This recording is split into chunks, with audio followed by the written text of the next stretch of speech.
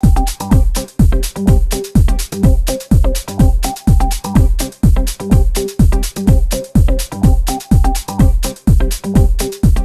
อนนี้ทางเ e p ซี่นะครับนโยบายเ e p ซี่จากจาก International มาเขาให้มีการลดการใช้ทรัพยากรเป็นนโยบายทั่วโลกเลยนะครับ ใช้กับเ e p ซี่ทั่วโลก ก็มีการลดทั้งพลังงานและน้ำนะครับ ส่วนของผมก็ดูแลเรื่องน้ำผมก็ต้องหา แรก ๆ ผมก็ใช้วิธีลดปริมาณการใช้ก็พอมันมันเริ่มใช้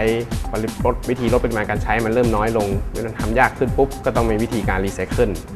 ครับก็เลยหาวิธีการรีไซเคิลน้ำที่มาใช้นะครับก็ช่วยใช้ ตอนนี้ก็กลับนำกลับไปใช้ในบางส่วนในโรงงานในส่วนการผลิต เช่นล้างล้างเปลือกมันฝรั่งข้างนอกนะครับนะครับ แล้วก็แผนต่อไปก็คือจะอาจจะนำไปใช้ที่ ชักโครกหรือว่าห้องน้ำนะครับ เฉพาะส่วนที่เป็นชักโครกนะครับ แล้วก็ล้างพื้นทั่วโรงงานนะครับ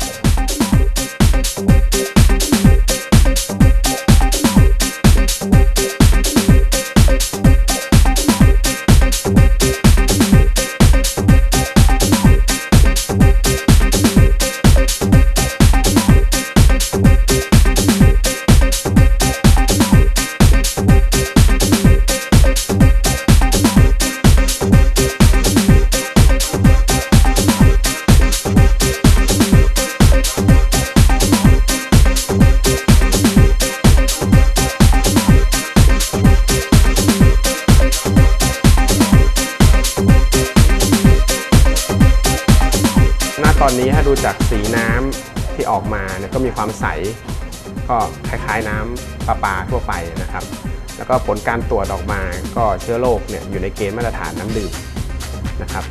ส่วนสารละลาย ส่วนสารละลายเนี่ยก็อาจจะสูงตามน้ำรีไซเคิลเนี่ยนะครับ ยังไม่ใช่เกณฑ์มาตรฐานน้ำดื่ม แต่ด้วยถ้าที่เรานำไปใช้ที่ไม่ใช่ในการผลิต ที่ในสัมผัสกับอาหารโดยตรง หรือว่าใช้กับการบริโภคบริโภคเนี่ยมันก็ไม่มีปัญหาอะไรครับ ถ้าเป็นการบริการก็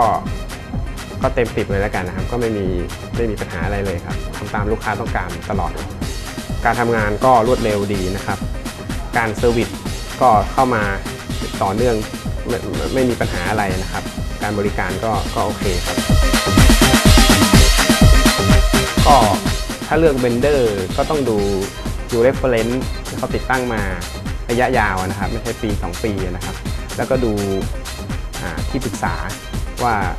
มีความสามารถมีเท่าไหร่นะครับ แล้วก็ถ้าเกิดคุณจะรีไซเคิลน้ำก็ต้องดูว่า